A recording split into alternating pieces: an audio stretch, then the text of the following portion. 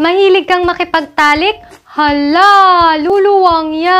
Joke lang po. Alam mo bang maraming elastic muscles ang ating vagina? Ibig sabihin, mas stretch man ito, babalik at babalik po ito sa dati. During sexual arousal, nagre-relax sa mga muscles na ito para ma-prepare for penetration.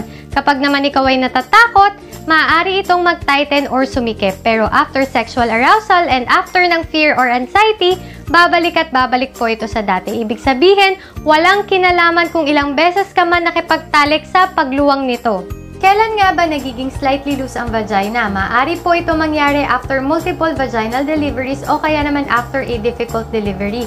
Kapag po ikaw ay nanganak, maaari magkaroon ng muscle tearing or muscle fatigue na decrease yung elasticity ng vagina. Pero after a few months ng delivery, pwede pa din po itong bumalik sa dati. Isa pa sa dahilan ng pagiging loose ng vagina ay yung aging. Kapag po tumatanda, nagdi-decrease yung level ng estrogen. Nagiging mas manipis at nadi-decrease yung elasticity ng vaginal walls.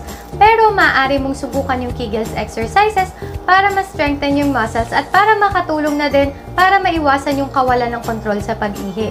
Alala lang po, itigil po natin yung panguhusga sa mga tao base sa kung nakipagtalik man siya o hindi.